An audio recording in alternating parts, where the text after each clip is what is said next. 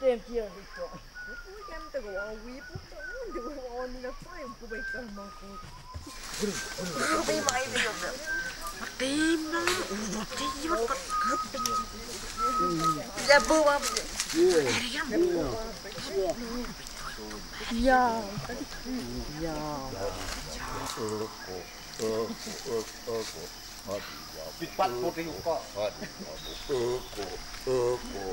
Yeah, yeah.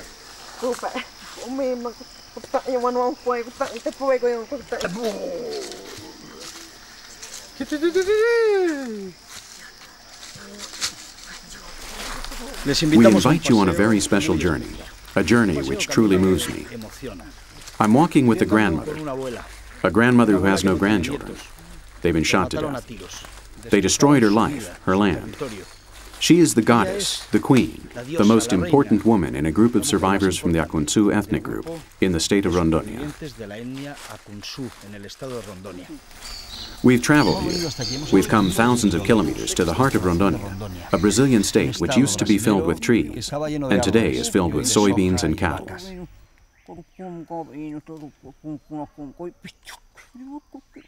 This woman knows the secrets of the jungle and is going to accompany us throughout the program. She is part of this ethnic group, and she is charged with keeping the fire always lit. Her grandchildren will not be able to see a better world. The Akuntsu are in danger, the end of the world on a television program.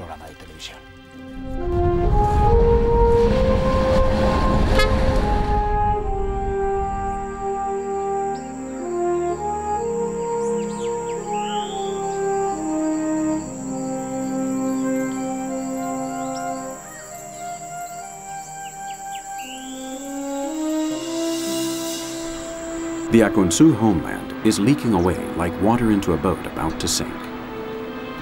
These Indians are caught in the sights of the white man, for whom everything seems to be not enough here in Rondonia.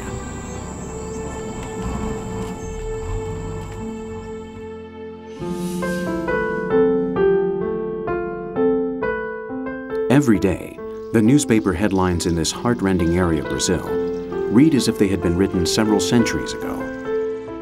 The papers are printed with human blood, and on their front pages we find events which we thought had been eradicated forever, reported as if they were completely normal.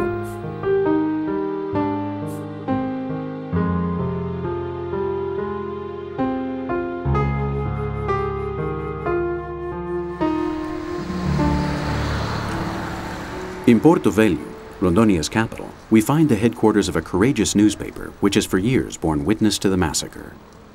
The Indian has historically been considered a fierce creature, an animal, and a hindrance to development, which in Rondonia is actually the disorganized occupation of territory, which has been going on here for many years now, and which in reality prevents the development claimed by those in power.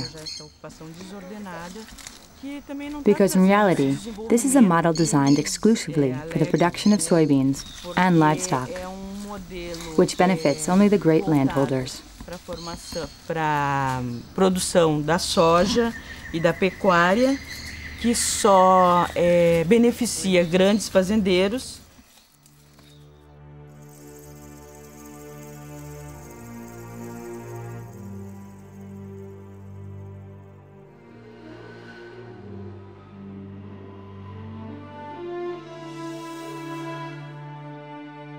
Since 1956, the state of Rondonia has owed its name to this man, Marshal Rondon, wholehearted defender and champion of the Indians in the past, in supposedly more inhumane times.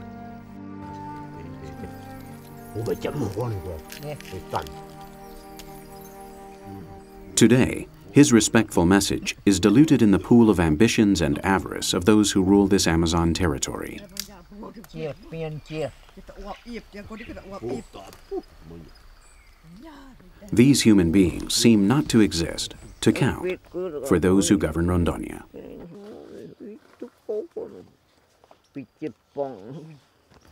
The Akuntsu tribe is made up of just six survivors, and it is around them that this film is centered. This hyper-realistic portrait seeks to return to these people their dignity, which is as fragile as bohemian crystal.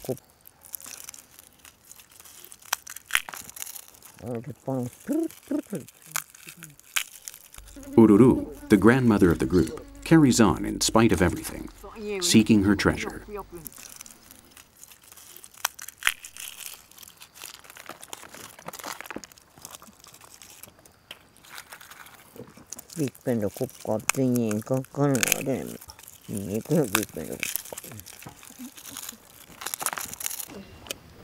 The sacred dye of the seeds of the uruku plant. Although condemned to extinction, the Akuntsu surrender to beauty, to their customs, to their ancestral power. They dye their hair the color of blood with this jungle cosmetic, just as their ancestors did here for centuries, long before the arrival of their murderers.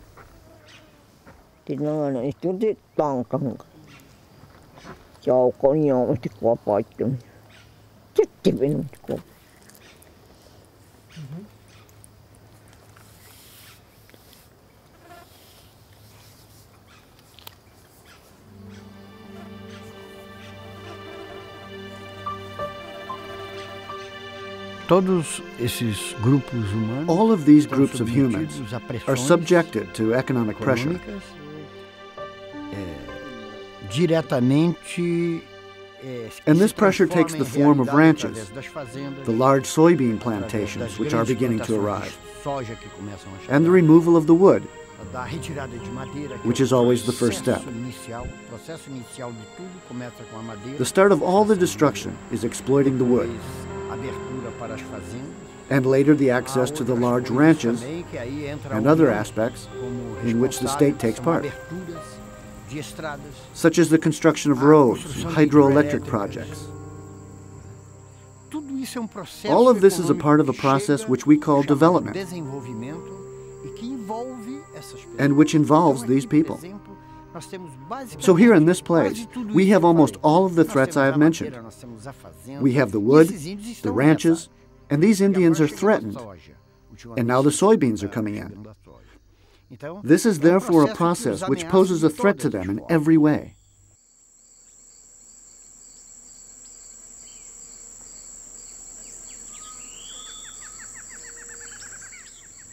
Rondonia's 240,000 square kilometers represent 3% of Brazil's territory, an area equal to approximately half that of Spain.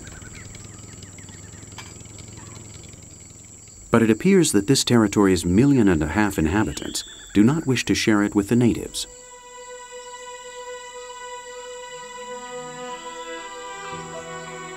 The jungle is losing ground, and with it, its direct descendants, the people of the jungle. Those who thousands of years ago inherited this green treasure, which today they roam as captives.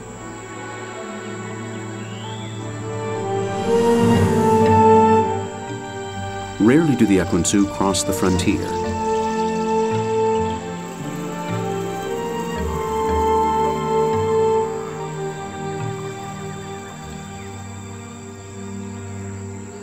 It's almost impossible to see them out in the open, exposed, outside their beloved jungle. But today, our camera has captured one of these dangerous forays. At the very gates of their house, where until just one year ago the trees were as tall as cathedrals, today there graze thousands of cattle. The Akuntsu defend themselves with words and arrows from a mammoth process bearing down upon them to squash them like ants.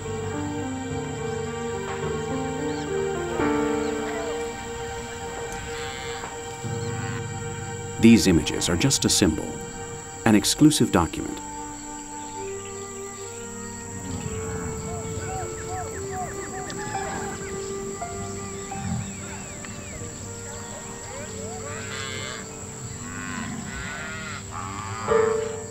a handful of people outraged at the very gates of hell.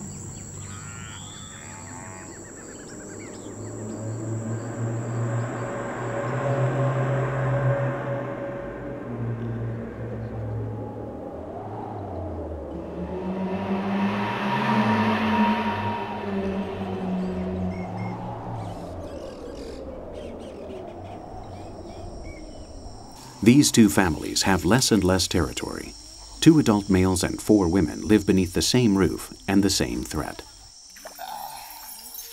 Where they feel most safe and at home is in the lap of their mother, the jungle.